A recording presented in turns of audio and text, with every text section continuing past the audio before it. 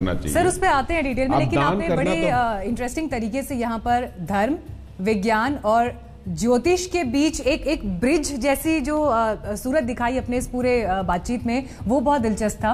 लेकिन अपने दर्शकों को एक बार फिर हम ले चलते हैं इस वक्त मनोज्ञा के पास क्योंकि ऐसा लग रहा है कि वहाँ पर अब कुछ नए इंतज़ाम हो गए हैं। अब सूर्य ग्रहण जो लोग वहाँ पर देखने के लिए पहुँचे हैं उनके पास। Manogya over to you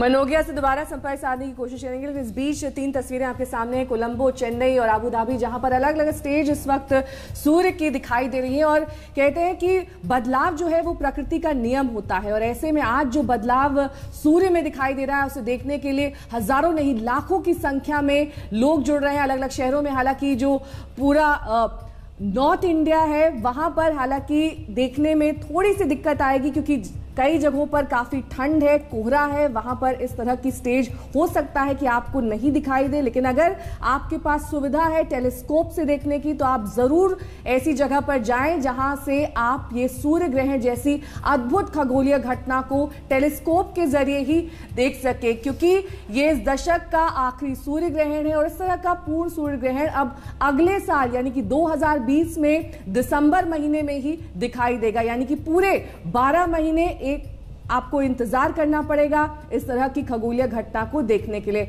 हम आपको दिखा रहे हैं तस्वीरें जहाँ पर अबू धाबी, चेन्नई और कोलंबो में सूर्य ग्रहण दिखना शुरू हो चुका है। आठ बजकर सत्रह मिनट से इसकी शुरुआत हो चुकी थी और दस बजकर छप्पन मिनट तक ये जारी रहने वाला है। हम आपको खगोल के पूरे जो इस खगोलीय घटना को देख रहे हैं। उनको किस तरह की सावधानियाँ बरतनी चाहिए, वो भी बता रहे हैं। साथ ही आप विज्ञान के एंगल से भी इस पूरी खगोलीय घटना को समझ सकते हैं, क्योंकि यहाँ पर हमारे पास खगोल शास्त्री भी हैं, हमारे पास वैज्ञानिक भी हैं, और ऐसे एक्सपर्ट्स हैं जो आपको बता रहे हैं कि किस तरह की सावधानी आपको बरतनी चाहिए। जब आप इस पूर्ण सूर्य ग्रहण को देखते हैं, आप सोलर चश्मा पहने, उससे इस सूर्य ग्रहण को देखें। साथ ही टेलीस्कोप से भी आप कई शहरों में इस सूर्य ग्रहण को देख सकते हैं और समझ सकते हैं। पाँच घंटे छत्तीस मिनट तक ये सूर्य ग्रहण चलने वाला है। और सिर्फ़ देश ही नहीं, बल्कि विदेश की भी तस्वीर, यानी कि अबू धाबी और कोलंबो से भी जो तस्वीर आ रही है, वो हम आप तक पहुँचा रहे हैं। साथ ही चेन्नई से भी हम आपको दिखा रहे हैं कि वहाँ पर किस स्टेज में इस वक्त सूर्य ग्रहण पहुँच चुका है। आरबी सिंह साहब लगातार हमारे साथ बने हुए आरबी सिंह साहब, आपके नज़रिए से हम बार बार ये समझना चाहते हैं कि जो अलग अलग शहर हैं या फिर जो अलग देश हैं, जहाँ पर इस वक्त अलग अलग स्टेज पर सूर्य ग्रहण दिखाई दे रहा है, उसको आप समझा सके, क्योंकि एक आम नागरिक जो आम जनता है, वो जब सूर्य ग्रहण को देखती है तो वो उसे खगोलीय घटना के रूप में देखती है, जो शायद वो आने वाले वक्त में देख पाए या फिर ना देख पाए। तो उनके लिए एक ऐसा क्षण होता है, जिसे वो कैप्चर करना चाहते हैं, भले ही अपनी आँखों से कुछ चंद सेकंड के लिए, कुछ पल के लिए। और ऐसे में स्टेजेस को समझना बहुत अहम है, क्योंकि पल पल बदल रही है सूर्य की तस्वीर इस वक्त।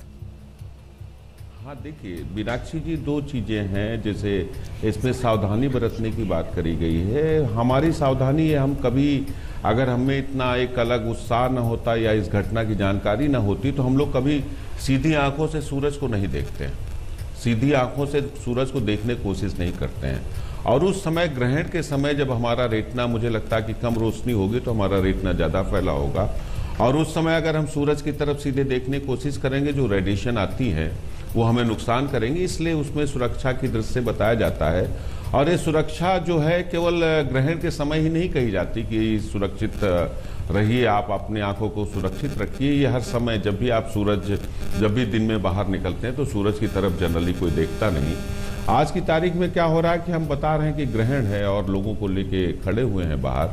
तो उस, उसको सूरज की तरफ़ ही देखते हैं ग्रहण कहाँ? सूरज ग्रहण तो हम सूरज की तरफ़ देखने कोशिश करते हैं। इसलिए नुकसान होने की ज़्यादा उम्मीदें हैं और इसलिए हम कहते हैं सावधानी बरतें। जहाँ तक ये देखिए, आप हर जगह अलग अलग फेजेस हैं अलग अलग हमारी धरती जो है, हम आप ये मान के चलिए जस्ट इमेजिन करिए या मानिए कि ये सूरज एक कहीं पर एक स्थित है, कहीं पर एक बाहर एक आग का गोला जिसे रिंग ऑफ़ फायर आप कह रहे हैं, वो वो ठीक है इलिप्स ऑफ़ फायर या रिंग ऑफ़ फायर या पूरी तरह फायर है। और धरती हमें, हम धरती पर, आप देखिए ग्लोब का पूरा दृश्य देखिए। ये ग्लोब पूरे अपने एक्सिस में, आप ये मान के चलते अपनी एक्सिस में सीधा नहीं खड़ा हुआ है। सीधा नहीं, ये साढ़े बाईस डिग्री, साढ़े बाईस डिग्री अंश पे ये झुका हुआ है।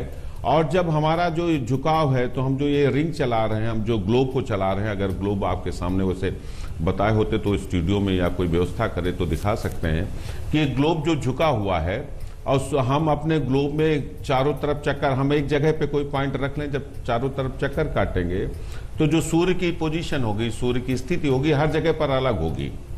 जिस समय दक्षिणी ध्रुव में बिल्कुल कुछ नहीं छाया पड़ रही होती हो समय, इस समय उत्तरायण में अगर सूर्य है तो उत्तर में हमारे पास प्रकाश रहता, दक्षिण प्रकाश नहीं जाएगा। इसको हम एक अपनी, अपने खगोल शास्त्र की भाषा में कहते हैं कि जो हमारा इंक्लिनेशन है सूरज का, हमारे ऊपर क्षितिज में जहाँ पर सूरज स्थित है तो वो अलग अलग स्थितियाँ होती है। इसलिए हमें अलग अलग तरह से सारी एक छोटा सा सवाल है आपसे जो डायमंड रिंग इफ़ेक्ट है। जो। डायमंड रिंग इफ़ेक्ट होता है या फिर बेलीज हेड्स इफ़ेक्ट होता है वो से लगभग कितनी देर बाद दिखाई देगा?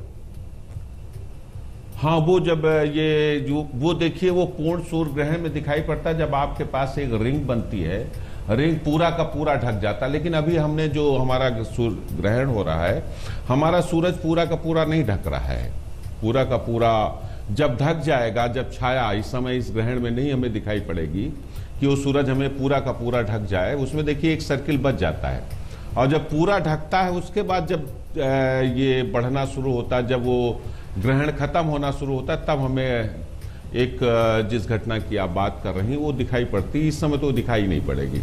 इस समय तो हमें केवल सर्किल दिखेगा एक पूरा ठीक है आप बने रहिए हमारे साथ। आरबी सिंह साहब हमें जानकारी दे रहे हैं। हमारे साथ तमाम खास मेहमान बने हुए हैं इस खगोलीय घटना जो कि एक अद्भुत नज़ारा है। आज पूर्व सूर्य ग्रहण का इस पर हमारी विशेष पेशकश जारी रहेगी। वक्त ब्रेक का हो चला है। देखते रहिए आज तक।